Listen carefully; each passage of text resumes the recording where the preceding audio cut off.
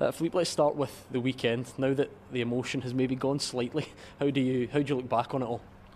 Yeah, that it was a crazy game. Um, I had a lot of manager in my career and uh, and also as assistant coach. I had a few that sometimes had nightmares before a game in uh, thinking about bad scenarios. I'm luckily not a guy like that. But I think uh, even if you, if you had the worst nightmare, you will never think about 20 t- 22 seconds to get a goal against like that. To be also unlucky that this ball goes ins- inside of the goal because it could have gone anywhere, this ball. So it's a big knock at that moment, and and yeah, it influenced our game in the first half. Uh, we were less confident. We were not good enough in the ball and not good enough in the duels also and, and a few other details that we talked about in halftime. We still had two chances with Connor Goldson uh, on a corner kick and, and, and a good one with, uh, with Fabio also. So it could have been 2 2, and we were unlucky also with a, with a penalty because that's uh, a deflection in the, in a split second and you get a ball against your arm, although you want to put your arm away. But with the new rules, it is a penalty. I said it after the game also. So you go in a really bad way in halftime. Um, so everybody really disappointed, and then you need to make a switch in, in the heads, in all the heads. And I'm really proud about that, that that happened. Um, so we found the right words, and the team reacted in the right way. And the second half, we were strong, we were dominant, we created the chances, we come back to the 2 2.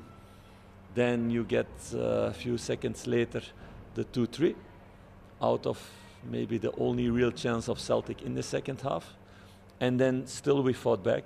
We make the 3 3 and we get even the last chance to make the 4 3. So it was a, a crazy game. Um, but at the end, you're happy with the results because you understand how, how difficult this comeback is in those circumstances. And even people told me after the game that it's from 1987 ago that a team in an old firm came back from, from 0 2 to get a result. So it means it's not something that happens every day. So you need to take that in account, that uh, resilience and, uh, and the mentality to, to change their minds was really good. And we, we can build on that and also on the way we played in the second half. In terms of the bigger picture, you've been very consistent in not speculating or talking about the gap at the top and the title race, are we close enough that you see a significance and a chance to go top of the table tomorrow? No, it's it's still a, a long way to go. No, uh, we're, we're just busy with, with taking the three points, and we've been indeed we've been really consistent in that way. So I think from the moment I stepped in in not a good situation until now, we're the team who took the most points, and we we need to continue like that to work game by game and putting our focus on that, only on that. The build up to this game has been a, a, strange one because it's been postponed before. The rain is coming down again. We've spoken to Dundee this morning and it's still unconfirmed. How's this affecting your preparations? What have you made of all this?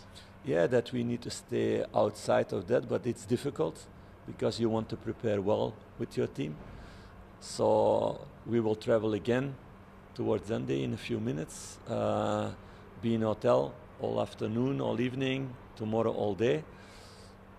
And there's a doubt that we can play a game, and, and it's a weird thing because this is a top league, and I don't know any top league anywhere else in Europe. Uh, the last 20 years that this can happen. So it's a weird thing because your preparation is, is difficult in that way. For sure, that you, you don't know if the play the the game can go on, and you don't even know what is the alternative. So, as a manager, I would like to have uh, a solution today and a decision today that at least you can make plans towards that and you can prepare your team.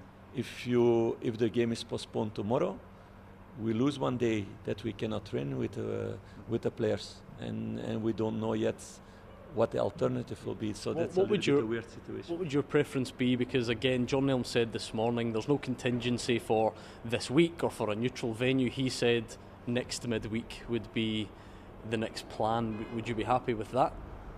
I think that's a decision to be made uh, by the federation.